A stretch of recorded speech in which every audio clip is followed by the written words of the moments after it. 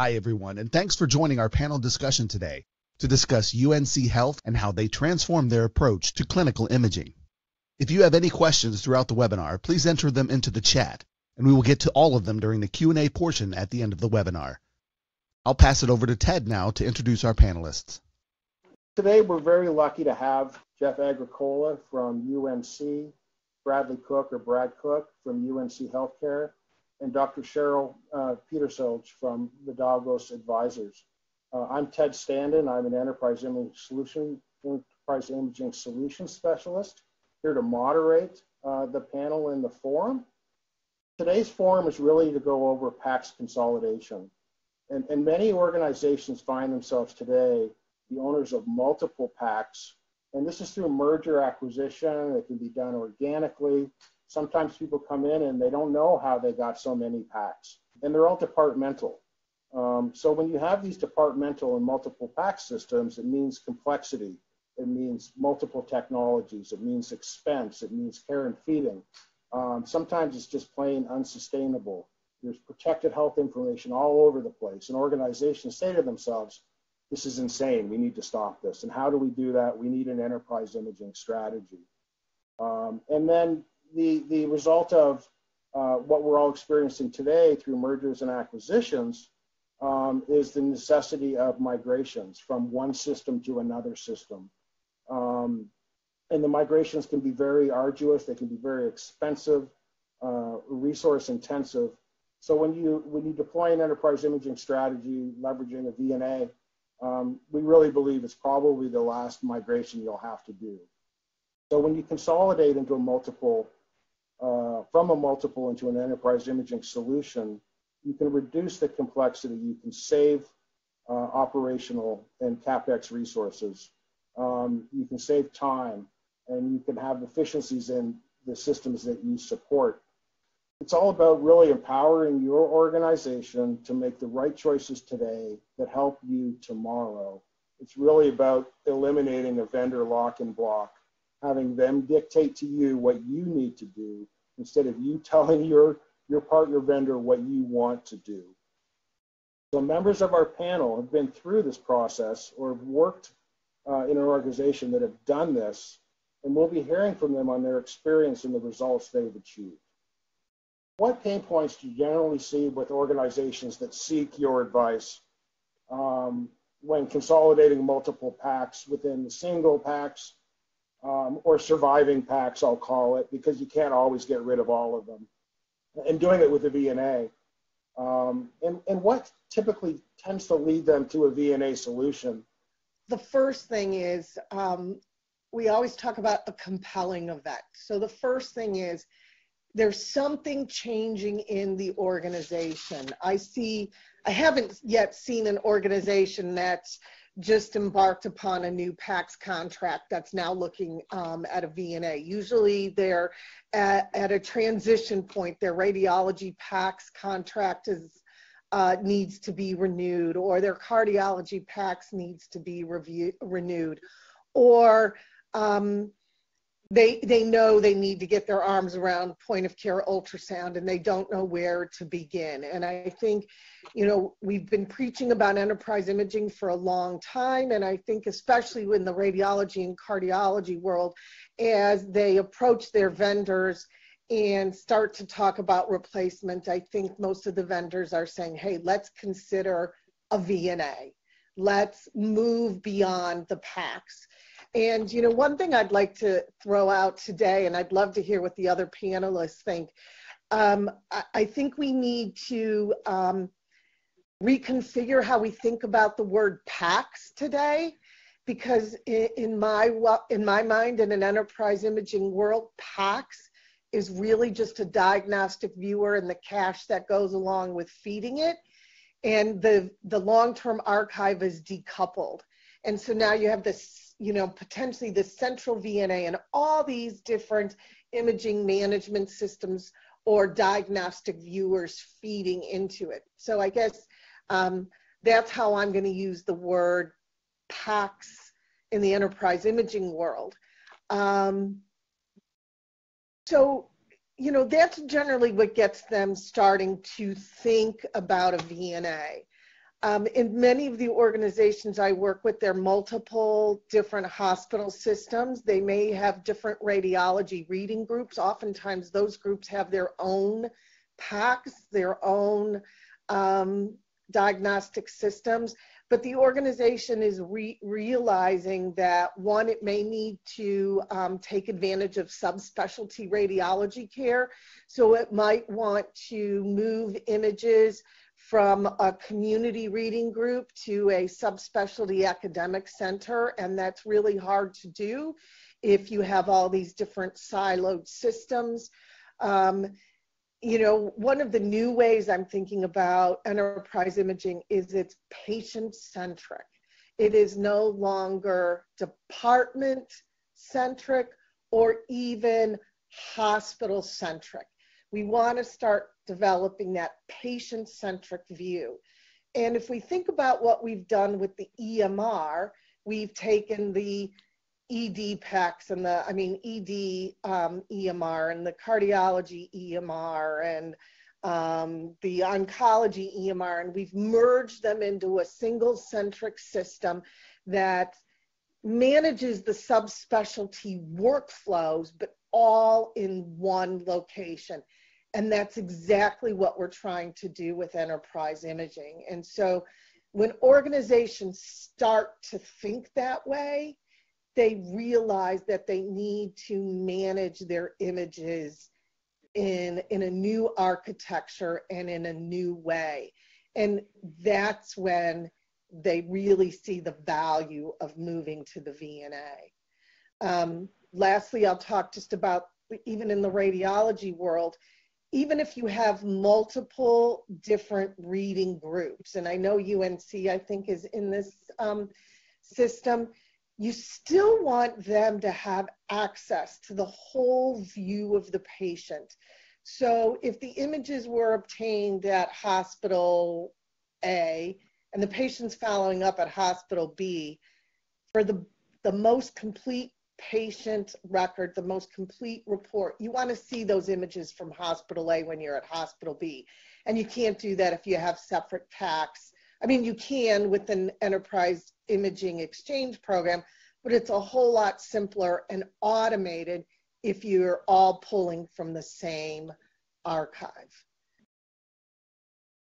Yeah, and I'll just add to that to what Cheryl was saying. So, you know, the, the, driver is not only just continuity of care, but as we're moving towards population health-based models and at-risk payer contracts where you're, you know, you know, payments are tied to outcomes um, instead of the services provided. You, you can't really operate in a siloed you know, anymore. So you have to have that longitudinal patient view to enable the continuity of care. And, and that's what we found as part of our journey. We start out with one hospital with you know, about 300,000 images you know, or studies done a year. We're now up to an integrated health delivery network, as Brad mentioned, of 10 hospitals doing almost 2 million studies a year. So you know, to be able to provide the services you're expected to do in an integrated delivery network, you, you have to have you know that that you know that view across the patient's record and, and align and simplify you know your PACS systems and your imaging services.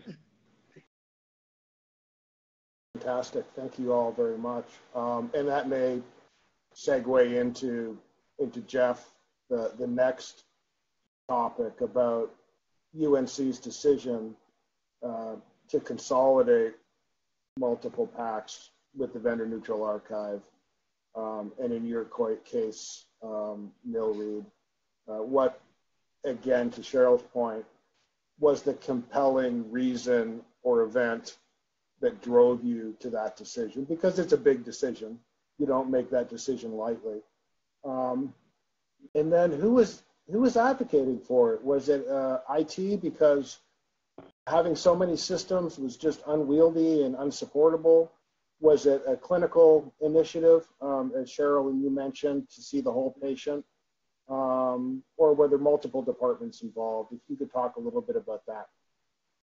Sure, and, governance is key. So it's important that you include a wide net of stakeholders. So it just isn't an IT project. It's a, it's actually an enterprise initiative. We're really driven by the pressures around around the marketplace and, and moving to becoming an integrated delivery network and, and how patients move and transfer across the system to have what we call a vision of one. So originally that started out, as Cheryl said, with you know, combining you know, all the disparate EMR applications, and you know, we have uh, we own an Epic shop, so we have one Epic at UNC. Um, we call Epic UNC, but we have one Epic system across our organization. But you know, and and so we have one what we call one patient ID, one problem list, one med list, one patient bill, so complete continuity of care of the medical record. But what we were missing was um, in that one patient, one chart was you know, one clinical enterprise imaging or one longitudinal view of the patient imaging record via a, common viewer or something that's, a, that's the same experience for the clinician where you know when they're viewing the images they're not going to multiple viewers. And that's a cost savings as well but it's also you know makes the you know the, the care delivered by the clinician much easier when they are able to you know utilize the same systems you know, routinely and not having to go into different applications. Um, what we found when we were, we were moving towards the, the one enterprise imaging initiative is that you know, we had a lot of infrastructure complexity. Um, we, you know, we wanted to make sure we had control from a business continuity and disaster um, recovery per, you know, concepts and pers- you know, perspective and make sure that you know, we are um, planning you know, for you know, providing um, uptime across the organization. We had a number of standalone point-of-care devices with no imaging retention, which I think we'll touch uh, on later, that were, never viewable um, to anyone that, now are seamlessly available in the longitudinal imaging record. Um, we really didn't have a good imaging um, life cycle management policy for a number of these um, electronically stored images um, which, you know, I think Cheryl mentioned there's a little bit of debate now about that. You know, people were purging film routinely, but not purging anything out of the PACS. But now with, you know, um, AI and, you know, the fact that these become assets, do you really want to start purging them or not? So that's, that's becoming a little bit of a conversation, you know, among all organizations and in the industry. And then, as we mentioned, we had silos of data so we want to, you know, eliminate those and have, you know, enable the continuity of care in the longitudinal, longitudinal patient view. Um, so where we wanted to go was, you know, improved access to images across the enterprise, um, compliant and secure data sharing. Um, we want to have reduced management complexity, um, have sophisticated, you know, image lifecycle management policies, um, lower total cost of ownership. You know, when we have, you know, one system. It's, you know, there's many efficiencies that you gain. Um, and then take control back of our data. You know, you know when you're um, working with various PACS vendors, I think we've all experienced the fact, you know, that you get in the vendor lock, as Ted had mentioned, that their systems are very proprietary. And when you move to um, a VNA, um, which is truly neutral, which we were looking for, you know, a, a, company that had open standards and allow us to take control back to our data, you're, you're no longer subject or held hostage to any particular company. So you have the ability to be flexible and switch to the, you know, um, best of breed solution, um, eh, you know, very, very easily. Um, so th- those are some of the drivers and, sort of our story of, of, you know, why we made these decisions um, and um, how we, you know, how we consolidated and um, you know, that, that it is an enterprise-wide initiative. It's not an IT-driven, um, you know, project. Great, thank you. Um, Brad, I've caught you kind of grouped here with, with Jeff. Yeah, well, what I think is really um, an important footnote to everything that Jeff said here is when you, especially with the Hyland VNA, when you decide to consolidate with the VNA, you're really getting yourself, and I like to do this analogy, an integration engine you're really getting yourself the opportunity to do a lot of creative things with your imaging and how you route the data. You can put a VNA in front of a PACS or behind a PACS or both. and um, you can do things like morph data if you're having complexities with certain types of modalities or manufacturers. Um, you are getting RESTful services with uh, uh, WADO RS and, and all sorts of those types of fancy new functionality. You're getting FHIR with nil endpoints. Um, you're getting all sorts of functionality and flexibility, just like an integration engine. So when you're talking about having to be able to accommodate all these different PACS out there and the various issues and the headaches that you come up with, a VNA has been extraordinarily valuable, just like an integration engine, to be able to manage those data. And especially in situations like Jeff mentioned, where you have access to your data in the event of uh, you know divestiture or something, where you need to do your own migration out of your VNA or out of a PACS. Um, when you need to get that data out and, and have access to that yourself and be able to manage that yourself, it's very powerful and it's very important to understand that you'll get that functionality with that type of VNA that Hyland offers. So I just wanted to put that analogy in there as a footnote because you're not just getting an archive, a place to dump all your images, even though it's very, very powerful and useful for that. You can, you know, segregate your images in DICOM databases and, and create sort of your own kind of tier and model and hierarchy for how those are stored. But to know that you can really do a lot of routing and manipulation on the data um, and, and, pushing that data in different spots is really something that I uh, would like to, share of how powerful a VNA can be for you. I think the um, organization of imaging informatics in a department really plays a role in how um, rapidly you can move to EI and how easily you can move to EI. You know, in many organizations, each department, especially large ones, each department maintains their own imaging informatics team and has a lot of ownership and a lot of time invested and can develop solutions that are 100% meet 100% of their needs. Um, those organizations have a, a, a, bigger hurdle to overcome as you try to move towards enterprise imaging um, you have to have an enterprise overview as opposed to a very department specific overview. And it can be perceived as a loss of power and a loss of control. And I think that is one of the barriers that some organizations have when they move to enterprise imaging. I think the organizations where the imaging informatics is more centralized are, are a little further up that hill, so they don't have quite as large a barrier to overcome as they try to move to enterprise imaging. And I think the key no matter where you are in that spectrum, is making sure each imaging department has a point of contact and somebody who considers them their top customer and really make sure that they meet the needs of each department. And for departments like radiology that their life's blood comes from imaging, you know, it, it, it, to have anything less than what they have today is not going to be well accepted.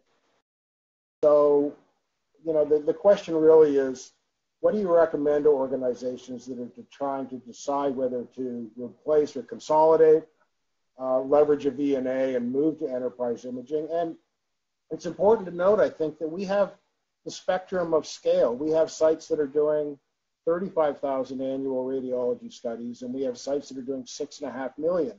So I think there's some core um, recommendations or observations.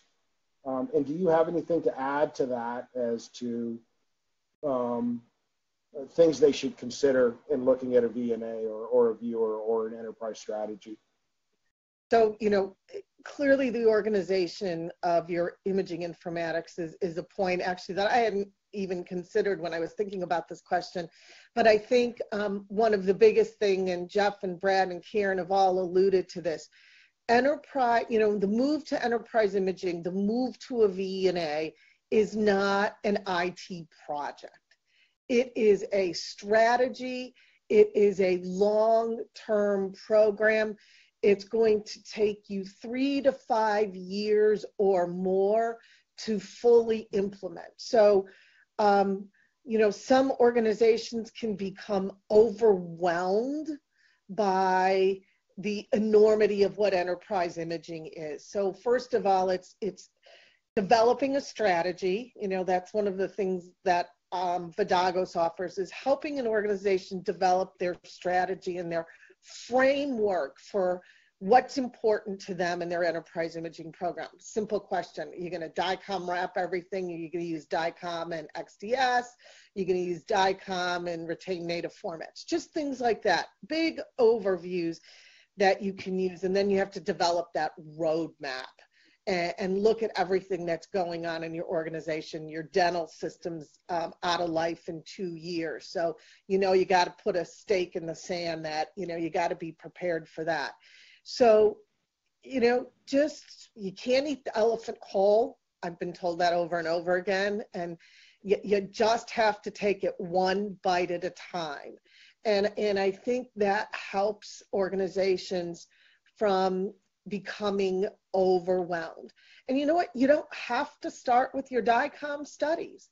You know what? Maybe you're going to start with, you're going to pick your VNA and you're going to start with your POCUS, your point of care ultrasound, and you're going to get that under control because your radiology pack still has, you know, four more years left on its contract. So, so start with something outside of the traditional imaging and, and work your way into the more um, voluminous imaging department. So there's all different ways to go about it. So, you know, don't be overwhelmed by um, what you need to do and know that you could use interim steps. I mean, we haven't talked about the ability to federate multiple archives, which is really a, a potential alternative to the VNA.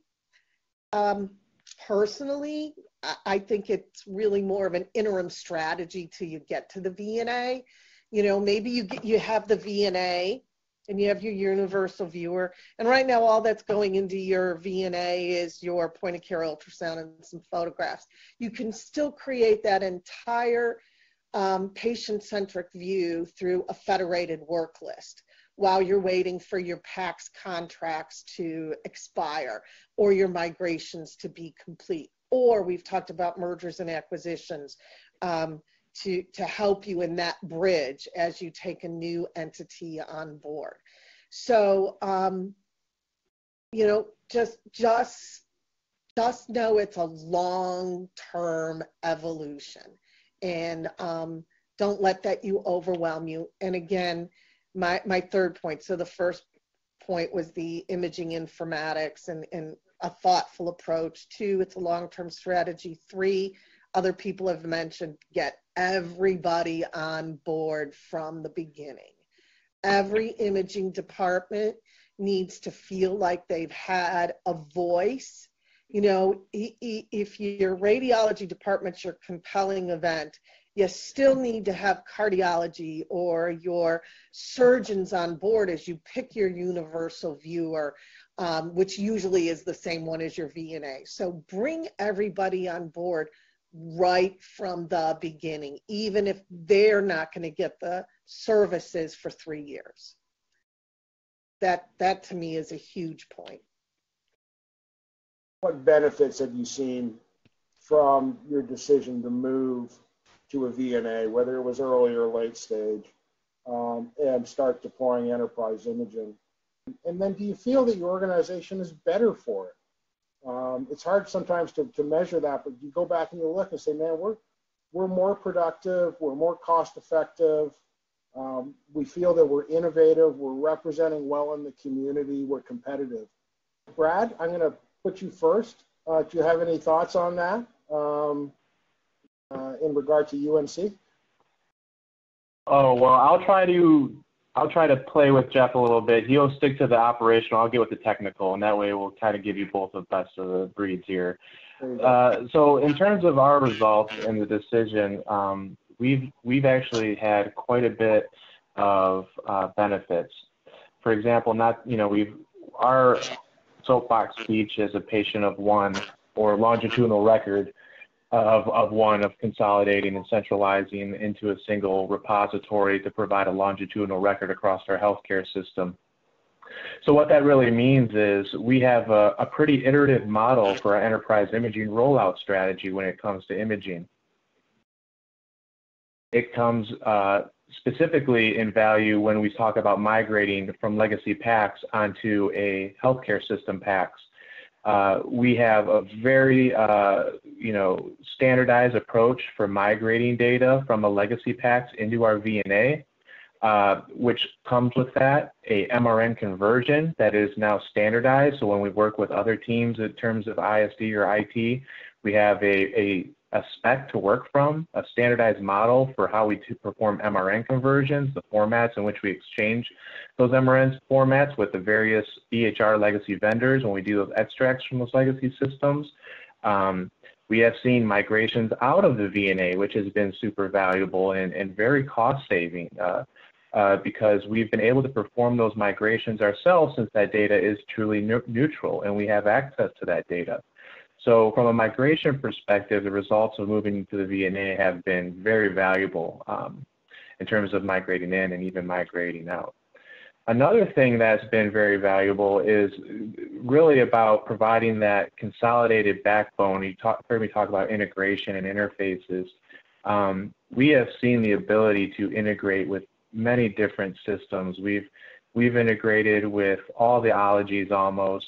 Um, and on top of that, you when you couple it with NIL, who you know directly accesses the VNA, uh, you don't have that overhead of DICOM when you work with NIL and VNA together. You give yourself a fallback solution to a lot of your diagnostic reading and viewing capabilities. Specifically, um, we've seen the VNA results be very popular with NIL in our orthopedic section of some of our entities where they will actually be reading directly out of NIL with their images and their modalities sending directly to our VNA.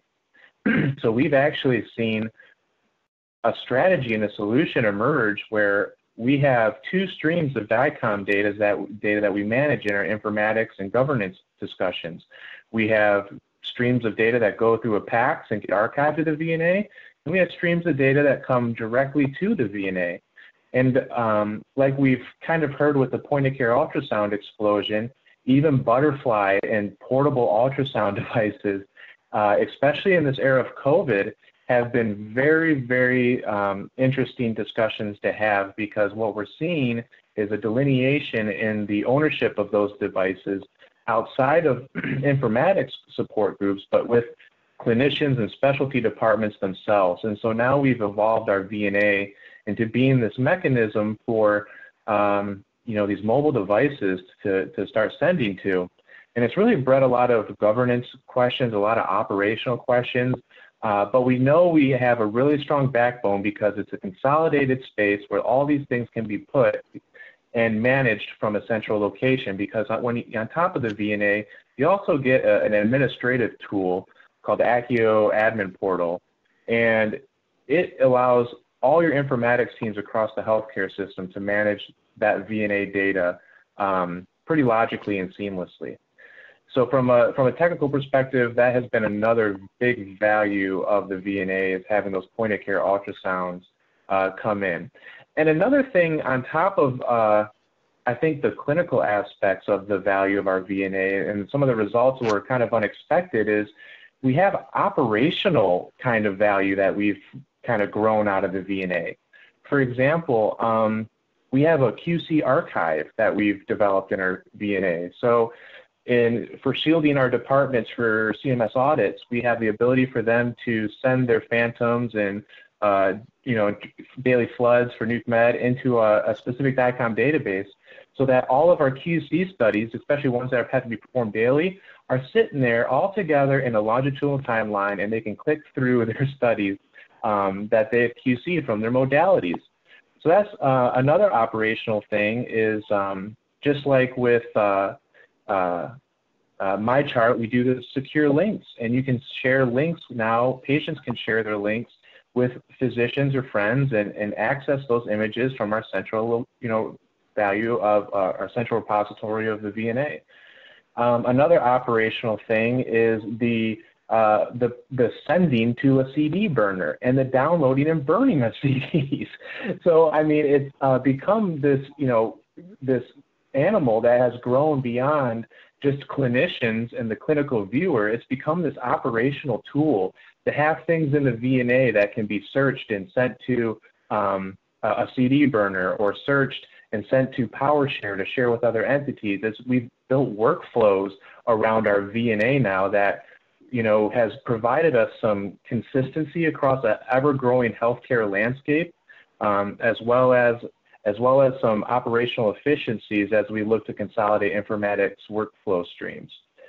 Um, I don't want to talk too long. I know we're running short, but uh, in terms of some other results that I think the VNA has also uh, offered, and I want to get to this, is um, when you have a VNA and you've had some, you know, design discussions of how you want to orchestrate and organize your data, you also have the ability to some of these underlying EI kind of topics for long-term visions that you're preparing yourself nicely for. We talked about AI, and you have the ability with the VNA to um, you know, store structured reports in a separate archive, and you may want to have a natural language processor run over all those structured reports. Um, you may want to compress all your old data and store it in a lossy format for AI to run data sets over. Um, you may want to be aware that digital pathology is probably on the horizon, and having a VNA is going to provide you a very good position to start having a central location to start archiving DICOM digital pathology SOP classes. Um, and you'll have that infrastructure already in place with a VNA um, that you've matured and, and, grown. You know, there are a lot, a lot of flexibility, a lot of tools, but at the end of the day, what it means is we're able to raise the standard of care, which is what's important, you know, for the patients. And, and we're able to provide services and a lot of our other partner hospitals that they weren't able to do before um, in a very efficient uh, manner um, and very cost-effective way, which is what you know we're all trying to achieve nationally within healthcare. Um, and then the other item that I found that was surprising, you know, we had a, governance is important, but you find that you become more innovative because you bring so many people to the table, and they're all now collaborating and working together, so you know, and, and, and it creates synergies that you wouldn't expect. And that that's been something that's been very special. I found as we've moved along our enterprise imaging journey and which also helps raise the standard of care. That's great. And I, you know, what I'm what I'm sort of hearing is the likelihood of being able to arrive at yes um, is increased when you have options and technology to support, you know, your enterprise. Um, where previously it might have been no, we can't do that. You know, it doesn't work that way. So it's about options going forward. There's a lot of discussion around the benefits of moving to enterprise imaging in a, in a VNA, yet many organizations like the sound of it, but they're not doing it. Um, and and uh, we and, and our uh, attendees may be curious as to why that is the case. And then what is a differentiator for the organizations that pull the trigger, that make that progressive move um, and, and actually acquire a VNA? or an enterprise imaging strategy?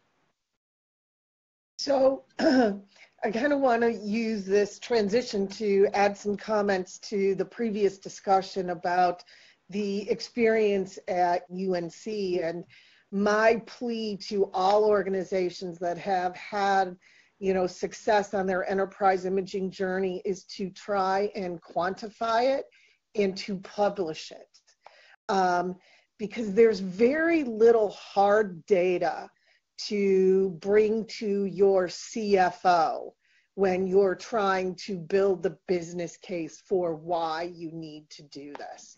Um, it, it, we all know it in our hearts what's the right thing to do, but when you have to build a business plan, you need to have good hard data on the ROI. So uh, I ask um, my fellow panelists and anyone that's in the audience to, that's had successes that they could write about to please go ahead and do that. I only know of one article in the literature that really addresses some of the um, benefits that have been achieved through um, deploying an enterprise imaging strategy. And so you know, that kind of moves me to one of the top reasons why I think many organizations aren't doing it. And because right now it's a really strong nice to have, and it's not a compelling need to have.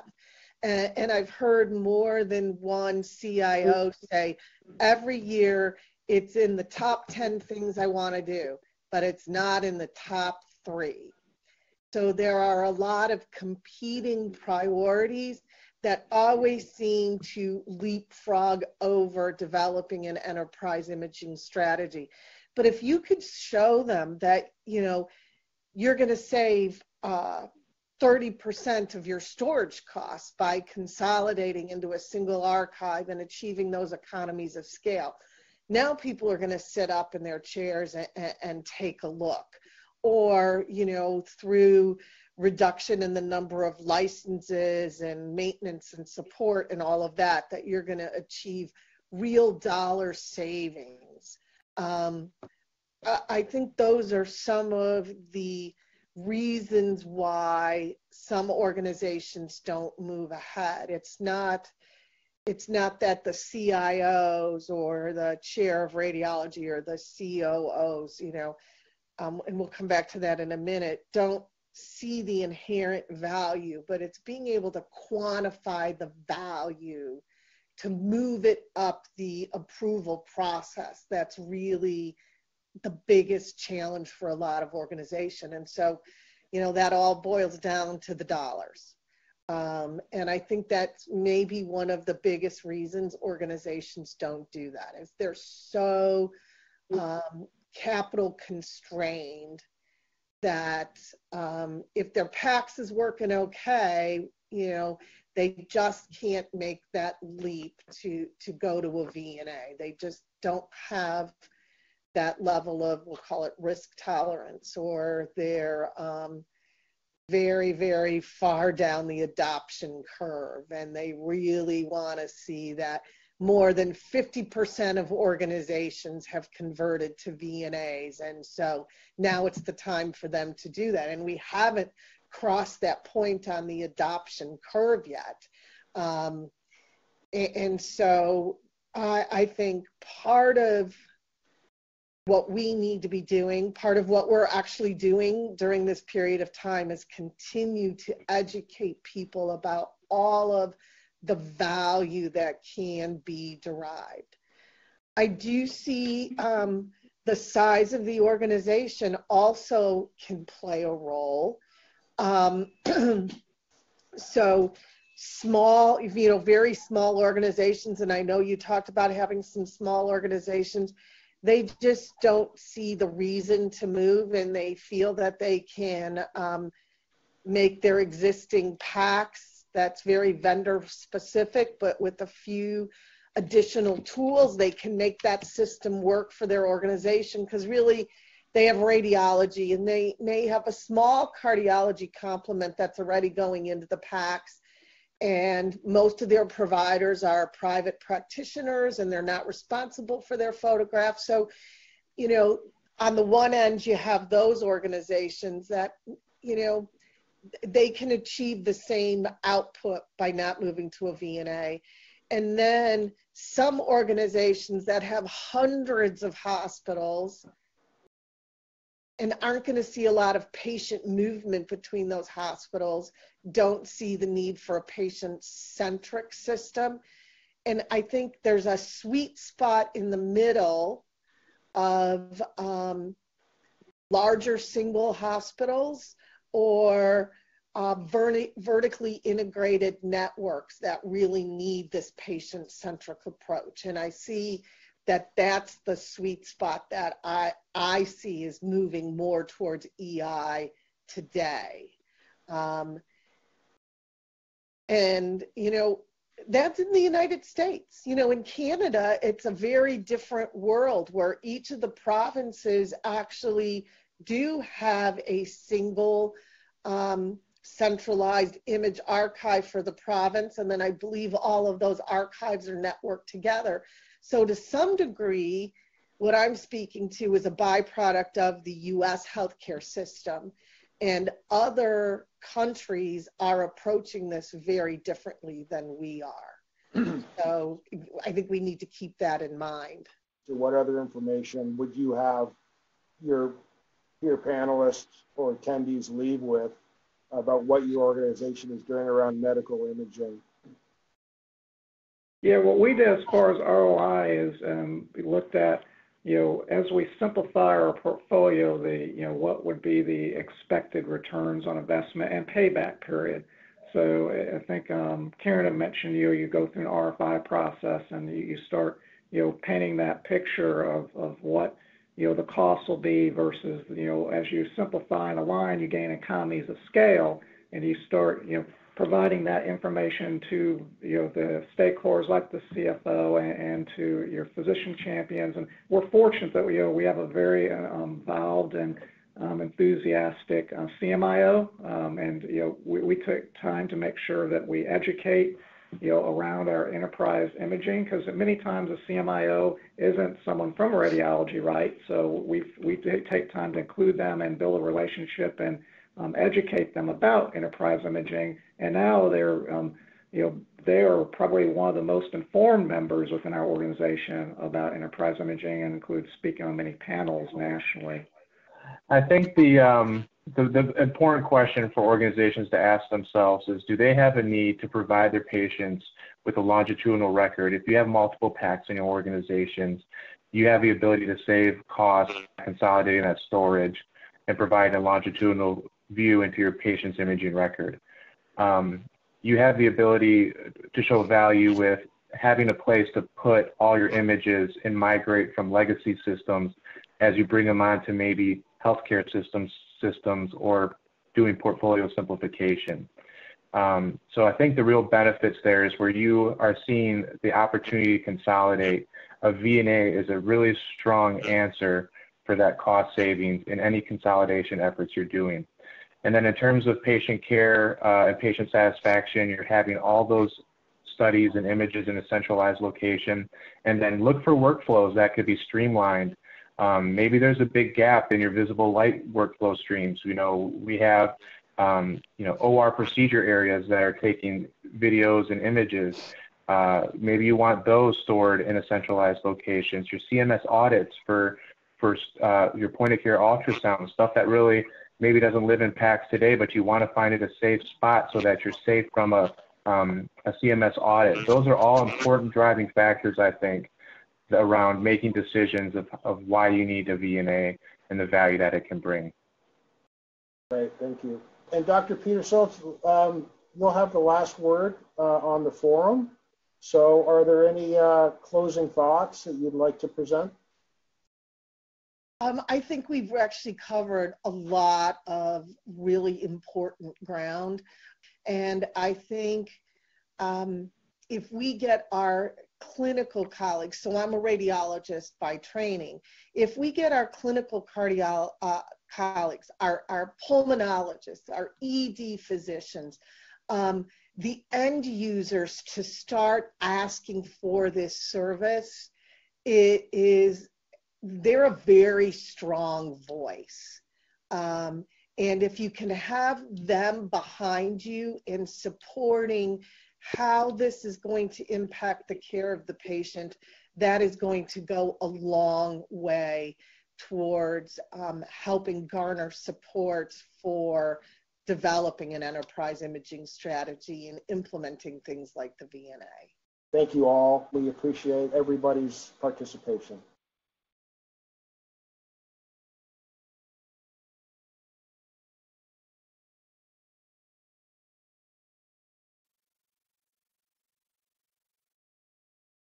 Terrific. Well, thank you to Brad, Jeff, and Cheryl for that fantastic presentation.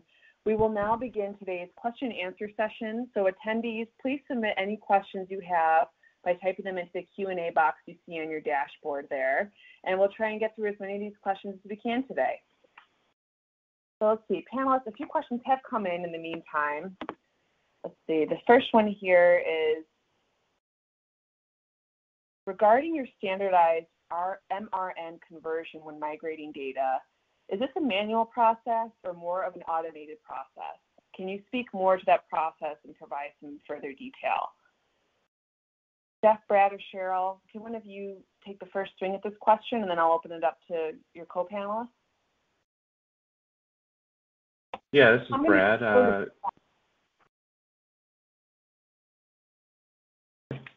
Go ahead, Sorry. Cheryl, did you want to go jump on that one? I'm sorry, we're talking about the MRN conversion question my audio broke up a little bit. I apologize.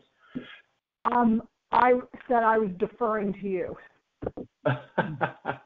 okay, yeah. So um, regarding an MRN conversion when migrating uh, DICOM data, there's there's definitely some considerations and definitely some processes that you can um, undergo in terms of your planning for that migration.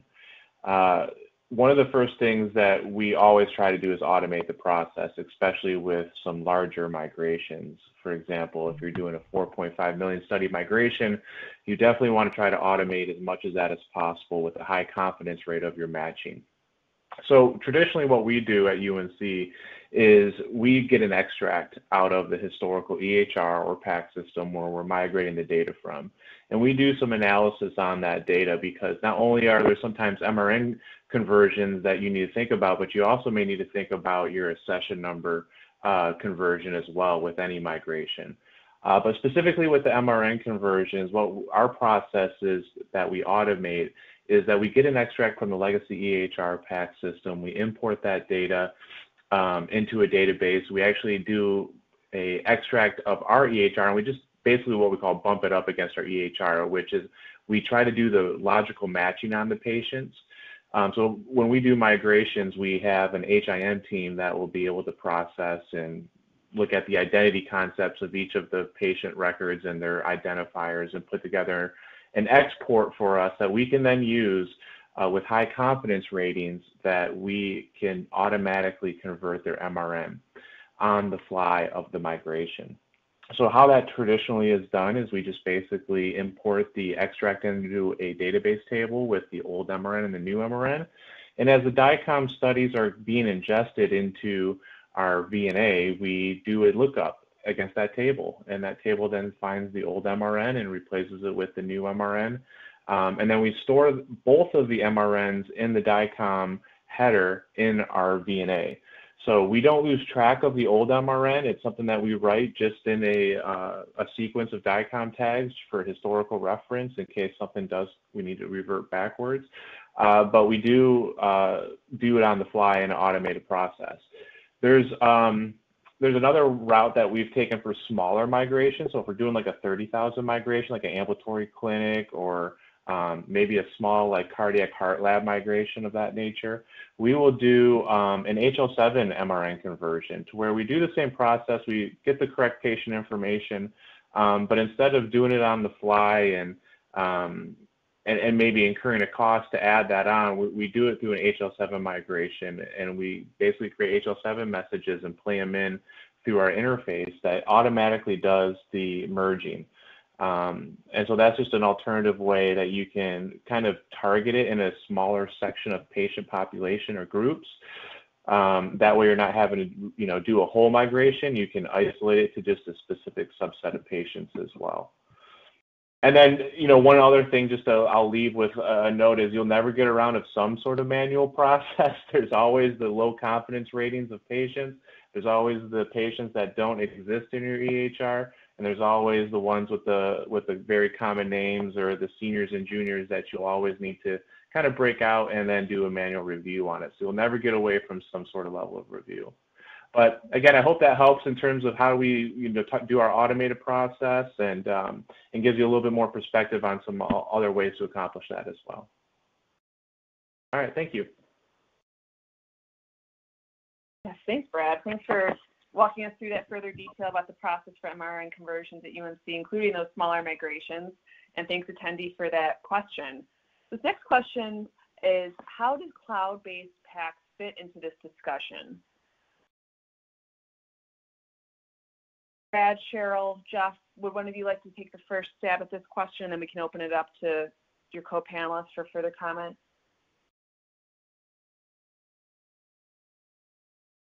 I can I can go again. Yeah. Um, from a little technical perspective, or or Jeff, if you want to um, take this one, but yeah, but, you know, yeah.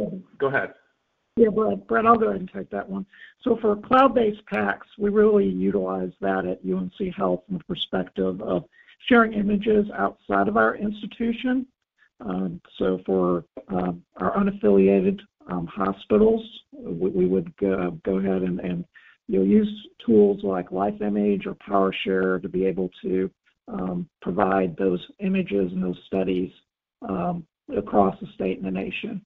Um, taking that that question from a different angle, though, we are we are um, very much a software as a service provider or a cloud-based solution for many of the hospitals that, that contract with us as part of our network. So we we provide um, ISD um, shared service offerings like our PACS, like our VNA, um, to these hospitals, and we host them um, in our data center um, along with uh, business continuity and disaster recovery capabilities.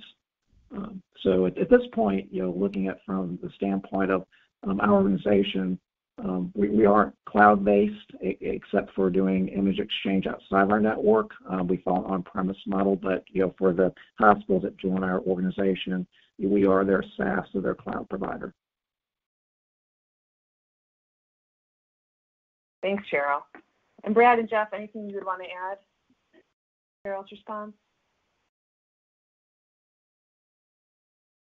I think that was Jeff okay. uh, that was just giving that response. But I will. Um, oh, I'm sorry, this Jeff. is Brad. I I will just say another lens to really think about with cloud-based PACS Uh, you know, think of think of the patient portals that exist in all these EHRs. One of the things we've done at UNC is we've enabled patient access to their images um, through their patient portal.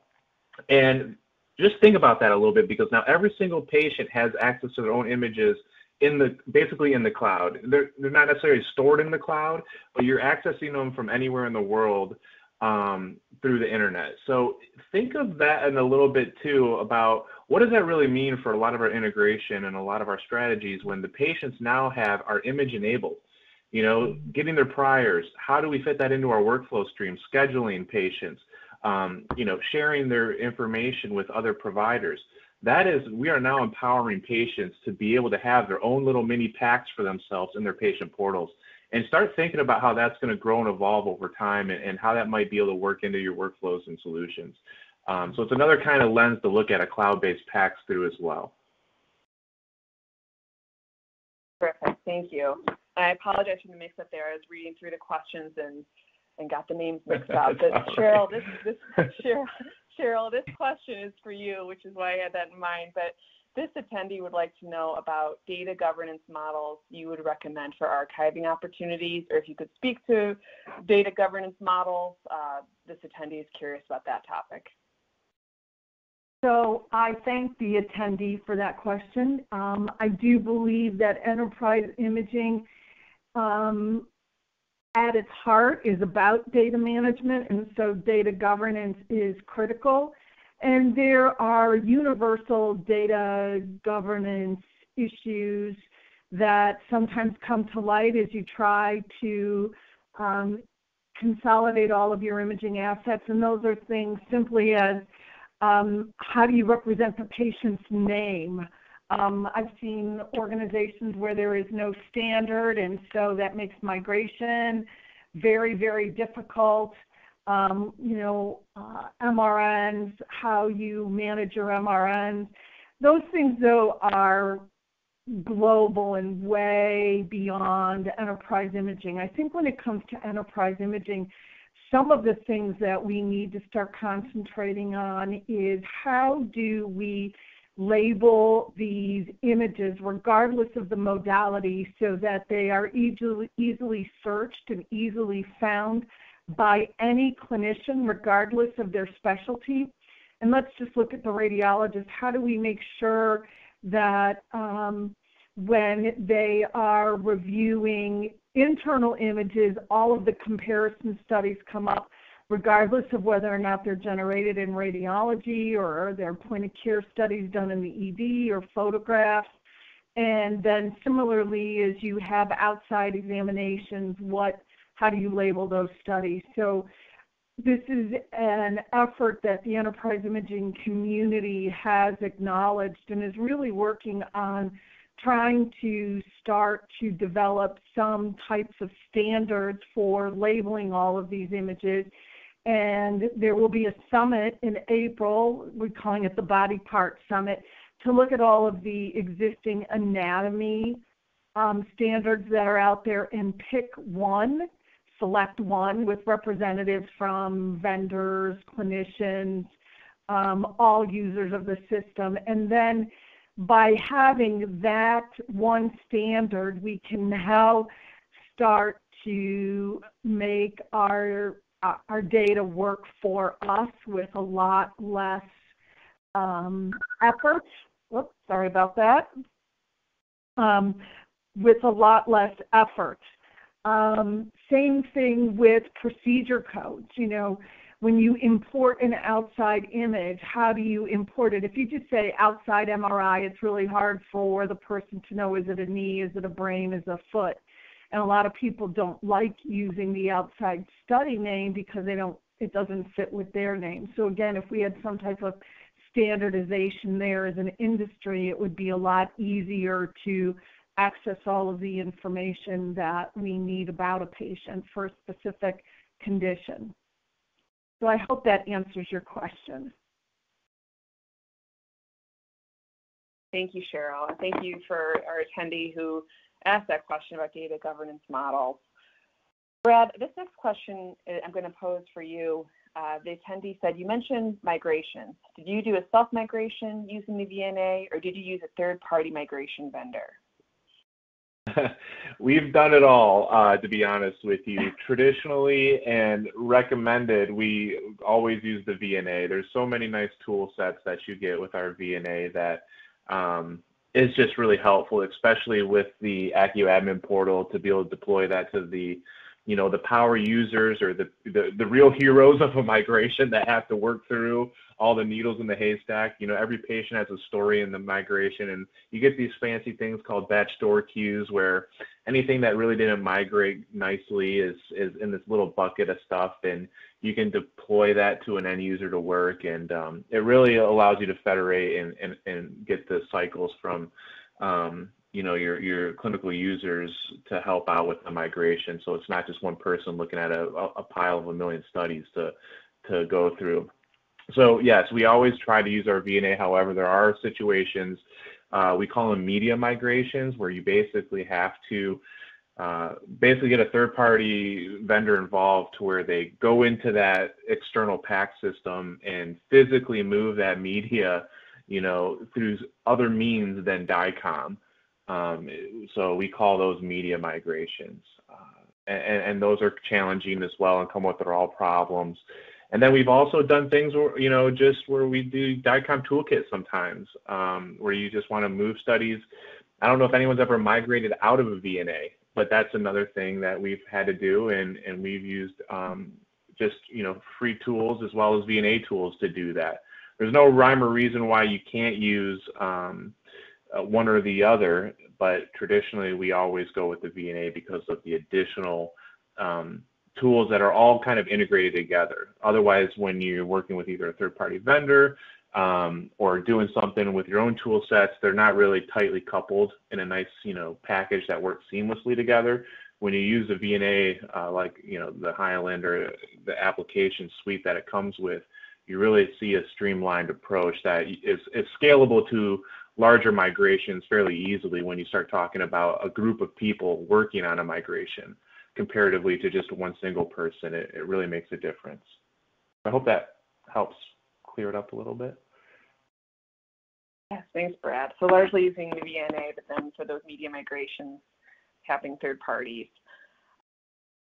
Jeff, I will say Hyland's getting better at yeah, they're they're definitely um, I think using third-party migrators less because they're just getting with the you know expansion into into Hyland. I think they're they're in their experience with various migrations. I know we've done. Uh, Jeff can probably back me up, but we've done quite a bit, two hands worth of migrations um, from PACS systems. So we've been definitely given Hyland the experience and exercise on how to deal with many different PACS systems um, so, yeah. you know, a lot of it now is being rolled in house with Hyland now. Yeah, put some analytics around that. It's been um, probably around 12 million studies we've migrated so far over two years, two to three years. Terrific, thank you. And Jeff, I'm going to stay with you for a moment. This is going to be the last question of our presentation today. Um, what was the biggest challenge you experienced in your transition to enterprise imaging, Jeff, and how did you overcome it? Yeah, our biggest challenge, and it continues today, is the overwhelming demand related to enterprise imaging in our organization. And the, the way that we found best to address that is you have to have broad-based and inclusive um, governance in place, uh, which includes good program and project management. And um, if there's anything I could leave everyone with today is governance is one of the largest success factors in um, you know an enterprise imaging program. And there's a good class enterprise imaging article that was done a couple of years ago where they did a poll and that was found to be um, one of the most, you know, of, of all the um, respondents, they indicated that as the highest and most important, um, you know, component of their enterprise imaging program. So governance is key and making sure that it's just not IT focused, um, but it's um, and you know, you have a wide net and includes all your stakeholders um, Cheryl, I, I don't know if you want to add to that. I know you had some great comments last time we had that question come up in another panel. Um, I think you covered it really well, Jeff. Yeah. Okay, terrific. Thank you, Jeff. You know, attendees, that is all the time we have for today. I want to thank our presenters, Jeff, Brad, and Cheryl, for their excellent presentation and Hyland Healthcare for sponsoring today's webinar. On behalf of Becker's Healthcare, enjoy the rest of your day, and we look forward to having you join us for future webinars. Thank you very much.